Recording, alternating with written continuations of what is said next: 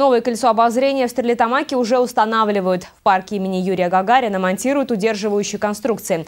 Сегодня установили центральную ось. Через два дня планируют монтаж спиц. Строители обещают собрать колесо обозрения в феврале. Пусконаладочные работы начнутся в марте. Колесо обозрения будет нового типа.